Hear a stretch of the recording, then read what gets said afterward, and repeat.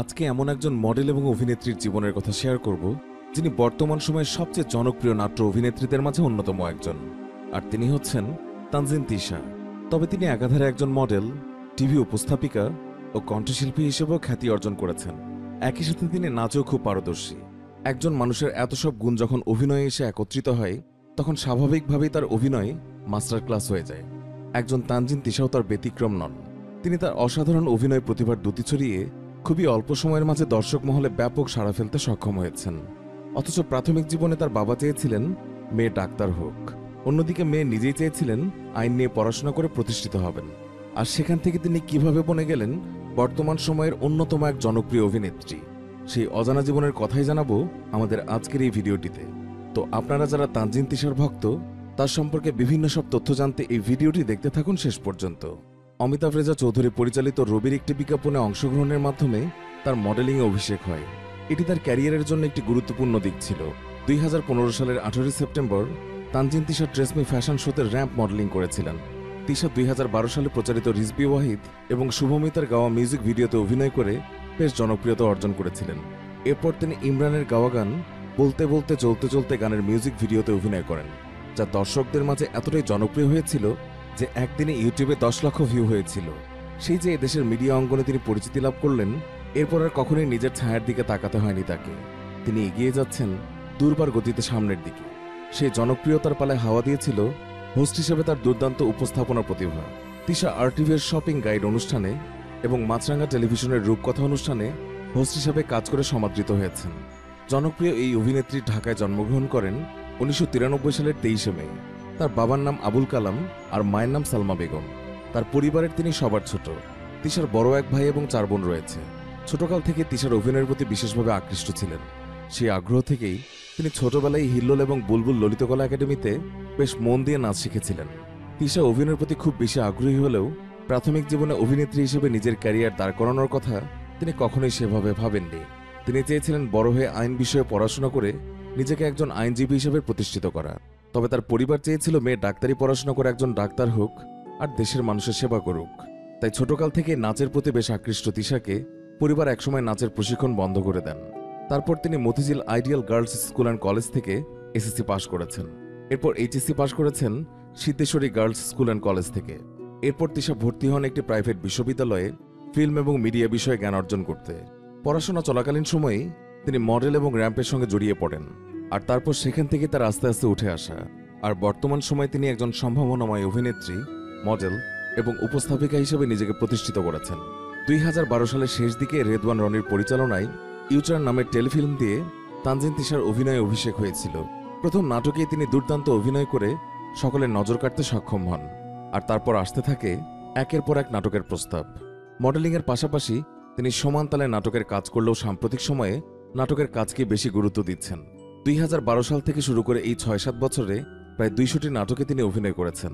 তার অভিনীত উল্লেখযোগ্য নাটকসমূহের মধ্যে পাল্টা হাওয়া, মেঘ পাখি একা, এই শহরে মেয়েরা একা, আপন কথা ময়নাটিয়া সোনালি রোদ্দুর কাঠগোলাপের বসন্ত, গ্রিন কার্ড, চকলেট বয়, সাধু, অচেনা বন্ধু ইত্যাদি বিশেষভাবে উল্লেখযোগ্য। এর মাঝে তিনি ইউটার নাটকে অভিনয় করে নবীন অভিনেত্রী নির্বাচিত হয়ে মেরিল প্রথম আলো পুরস্কার লাভ করেছিলেন। তানজিন তিশা দুই হাজার আঠারো সাল থেকে বিশেষভাবে জনপ্রিয়তা অর্জন করে নিয়েছেন। গত বছরের দুই ঈদেই তার নাটকগুলো দর্শক মহলে ব্যাপক সাড়া ফেলে। তার মাঝে কোরবানির ঈদে তানজিন তিশা অভিনীত প্রায় সকল নাটকে প্রশংসিত হয়েছিল দর্শকদের কাছে।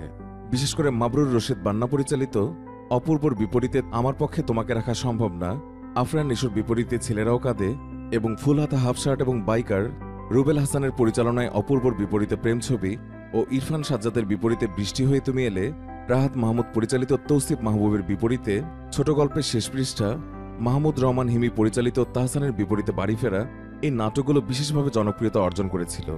তানজিন তিশার বেশিরভাগ নাটকগুলোই সাধারণত এক পর্বের নাটক। তিনি ধারাবাহিক নাটকে খুব বেশি অভিনয় করেননি।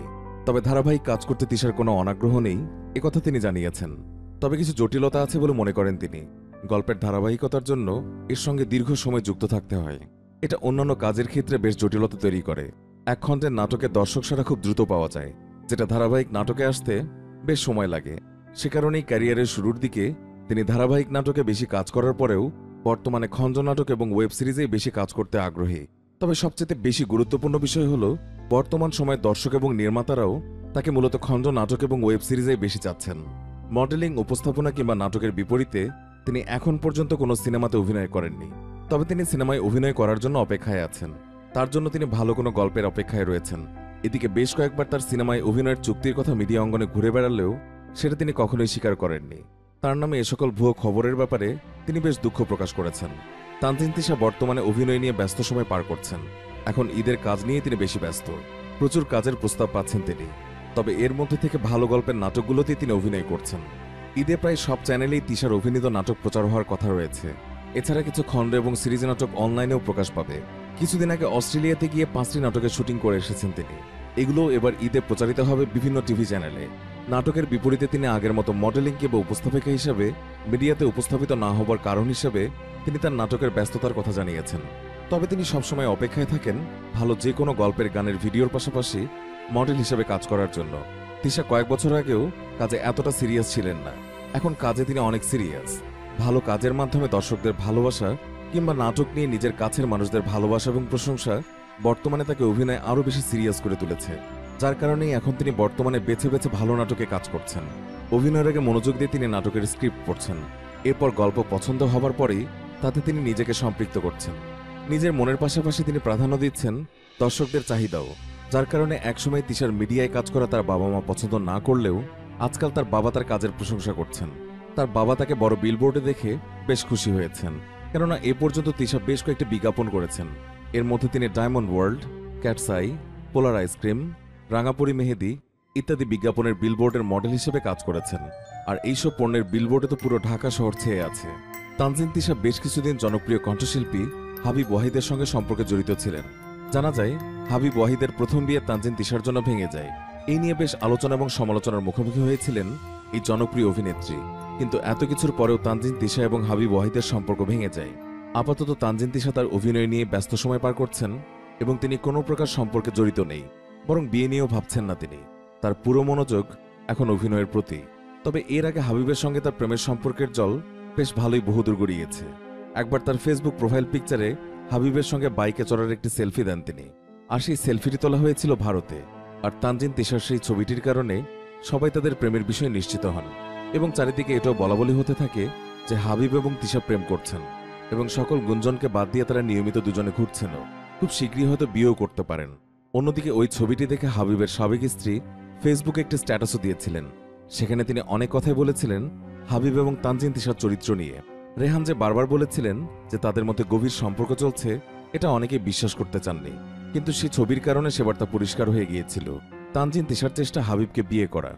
এসব অভিযোগই তুলে ধরেছিলেন হাবিবের প্রাক্তন স্ত্রী রেহান তার ফেসবুক স্ট্যাটাসে। সে সময় চারিদিকে বিয়ের ব্যাপারে নানান রকম গুঞ্জন ওঠে। এমনও কথা শোনা গিয়েছিল যে বাবার বন্ধুর ছেলেকে বিয়ে করতে চলছেন তানজিন তিশা। তবে অবশেষে তিনি বিষয়টা পরিষ্কার করে বলেছেন, মাথার মধ্যে বিয়ে ব্যাপারটা একদমই নেই। তবে এটা সত্যি যে আমি একদিন বিয়ে করব। তবে এখন নয়। যদি ভালো একটা মানুষ পাই আমার মনের মতো, তখন নিশ্চয়ই বিয়ে করে ফেলব। তবে এখন আমার সম্পূর্ণ মনোযোগ রয়েছে শুধুই অভিনয়ের প্রতি।